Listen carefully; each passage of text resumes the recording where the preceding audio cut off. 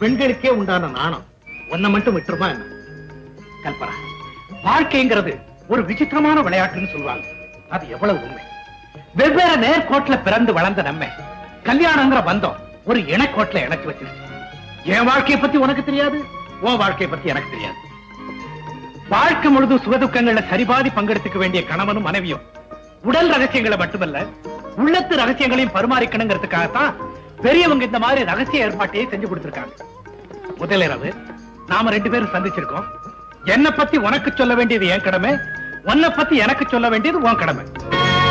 பெரிய பணக்கார குடும்பத்துல ஒரே ஆம்பளை பிள்ளையா பிறந்த என்ன? வழிதவறி போகாம வளர்த்து ஆளாக்குனதோட அவர் கடமை முடிஞ்சதுன்னு எங்க அப்பா போயிட்டாரு.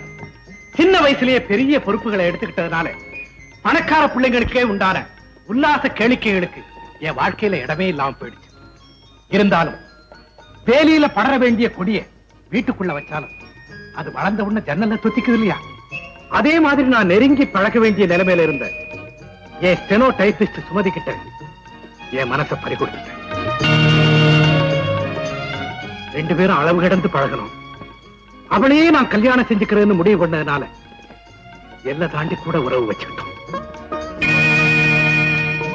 ஒரு நாள் அவ ஃப்ரெண்டு கிட்ட பேசிக்கிட்டு இருந்த நான் கேட்க வேண்டிய நிலைமை ஏற்பட்டு முதலாளி அசடு. சரியா என் வலையில சிக்கிக்கிட்டாரு. அப்படி இப்படின்னு உடனே அவளை கூப்பிட்டு என்ன வேணும்னு கேட்டு கேட்டதை கொடுத்து அனுப்பிட்டேன் அப்புறம் கல்யாணமே வேண்டான்னு வாழ்க்கையே வெறுத்து போயிருந்த என்ன எங்க அக்கா தான் வற்புறுத்தி உன்னை பெண் பார்க்க கூட்டிட்டு வந்தாங்க உன்னை பார்த்த உடனே எனக்கு ரொம்ப பிடிச்சு போச்சு. இந்த புதிய வாழ்க்கையை நான் மனப்பூர்வமா ஏற்றுக்கிட்டேன் இதையெல்லாம் ஏன் உன்கிட்ட நான் சொல்றேன்னா நாளை பின்ன வேற யார் மூலியமாவது இதையெல்லாம் கேள்விப்படும் போது என்ன பத்தி நீ தப்பா நினைக்க கூடாதுல்ல? அதுக்காக நான் ஒரு வியாபாரி. வியாபாரத்துல கூட ரெண்டு பார்ட்டியும் மனவிட்டு பேசி எல்லா கண்டிஷனும் போட்டு தான் ஒப்பந்தம் பண்ணிக்கிறாங்க. இன்னைக்கு போட்டு நாளைக்கு காலாவதி ஆகக்கூடிய வியாபாரத்துக்கே இவ்வளவு கண்டிஷன் தேவைப்பட்டதுன்னா காலம் பூரா இணைஞ்சு வாழக்கூடிய வாழ்க்கை ஒப்பந்தத்துல நாம ரெண்டு பேரும் ஒருத்தர் ஒருத்தர் புரிஞ்சுக்க வேண்டாமா? கணவனும் மனைவியும் எந்த ரகசியமும் இல்லாம பழகினா அவங்க வாழ்க்கையில ஒரு சிறு சலனம் கூட ஏற்படாது. உன் வாழ்க்கையில இந்த மாதிரி ஏதாவது குழப்பம் மயக்கம் இருந்தா நீ பயப்படாம என்கிட்ட சொல்லலாம். சொல்லு.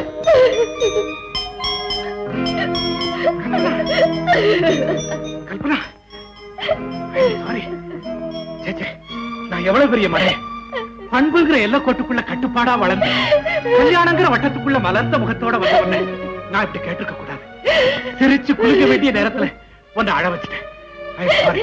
கல்பனா இப்ப நீ சிரிக்கல நான் அழுதுருவேன். நான் அழுதுன்னா வாழ்க்கையில முத முத என்ன அழ வச்ச பாவம் ஒன்னதான் நான் அழலாம். நீங்க அழக்கூடாது. நீங்க அழவே கூடாது. நான் அழக்கூடாதுன்னா நீ அழக்கூடாது. சரி. ஆ. சரி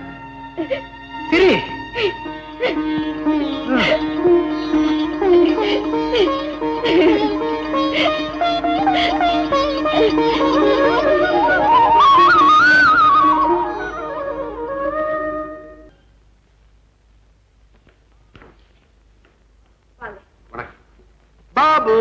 கமான் கமான் ஹாய் கொண்டு வந்திருக்கப்பா.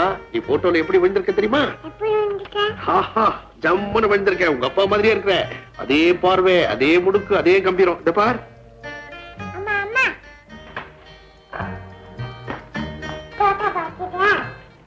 நல்லா இருக்குடா கண்ணா. மேரேஜுக்கு காட்டணும். ஆமா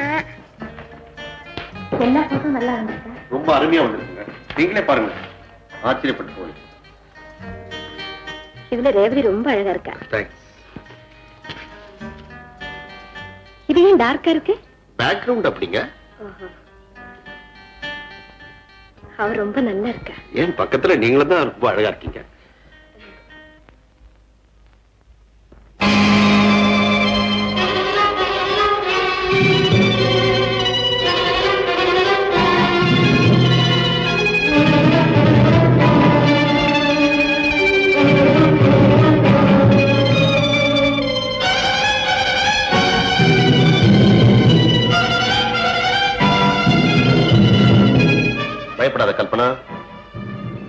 இந்த போட்டோகளை யாருமே பார்த்தது கிடையாது. வாதம் பார்த்திருக்கான். ரெண்டாவது நீ. வேற யாருக்குமே தெரியாது. இந்த போட்டோ எப்படி என் கைக்கு வந்தது? யார் எடுத்தது? அப்படின்னு தானே யோசிக்கிறேன். இந்த போட்டோவை எடுத்தது நான் தான். இந்த மாதிரி போட்டோக்களை எடுக்கிறது தான் என்னுடைய தொழில். வாழ்க்கையில தவறே செய்யாம இந்த காலத்துல யாராலையும் வாழ முடியறதே இல்லை. சில பேர் தெரியாம தவறு செய்யறாங்க நான் தெரிஞ்சுதான் செய்யறேன் ஆனா என்னால இது வரைக்கும் யாரும் கெட்டதே கிடையாது. நீ செஞ்ச புண்ணியம் இந்த போட்டோவை நான் எடுத்தேன். வேற யாராவது எடுத்திருந்தா உங்க கதி என்ன ஆயிருக்கும்? தட்ஸ் ஆல் ரைட் அதெல்லாம் விட்டுடுவோம்.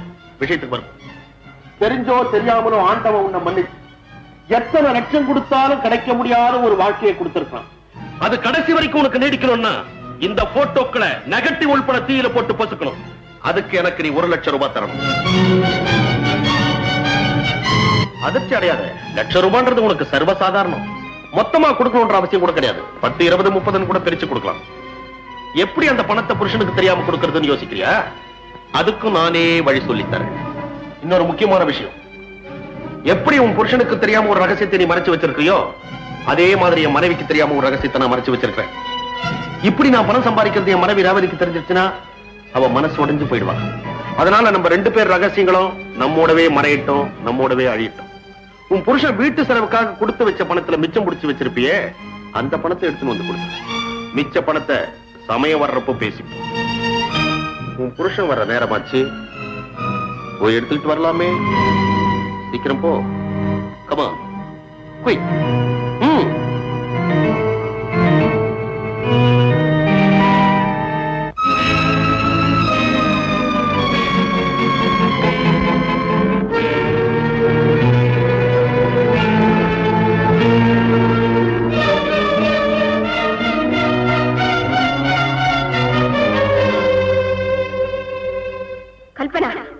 எப்பவோ நீ செஞ்ச தவறுக்கு நினைவு சின்னங்களோட அவன் வந்திருக்கா. இது வெளியே தெரிஞ்சா உன் வாழ்க்கை யோசிக்காதே. பணத்தை கொடுத்துரு. நில் அவன் கேட்கிற பணத்தை இன்னைக்கு நீ கொடுத்துடலாம். ஆனா ஒரு தவறை மறைக்க இன்னொரு தவறுன்னு எத்தனை நாளைக்கு தப்பிக்க போற? உன் புருஷன் ரொம்ப நல்லது நடந்தது சொல்லி மன்னிப்புக்க நிச்சயம் உன்னை மன்னிப்பார். கல்பனா உன்னை மன்னிக்கிறது அப்புறம் இந்த விஷயம் வெளியே தெரிஞ்சா உன் புருஷன் மன நிம்மதி இல்லாம அவசப்படுவேன் அப்பாவுக்கு தெரிஞ்சா அவர் உயிரையே விட்டுடுவார். இந்த குழப்பம் இதோட போயிடுமா? இப்படிப்பட்ட பெண்ணுக்கு பிறந்த ஒரு குழந்தைன்னு சொல்லி உன் பிள்ளையோட எதிர்காலமே பாதிக்கிறது கல்பனா உன் சம்பந்தப்பட்ட எல்லாரும் மன நிம்மதியோட கௌரவத்தோட வாழணும்னா இப்ப இருக்கிற பணத்தை கொடுத்தனு மத்தது அப்புறம் யோசிக்கிறேன்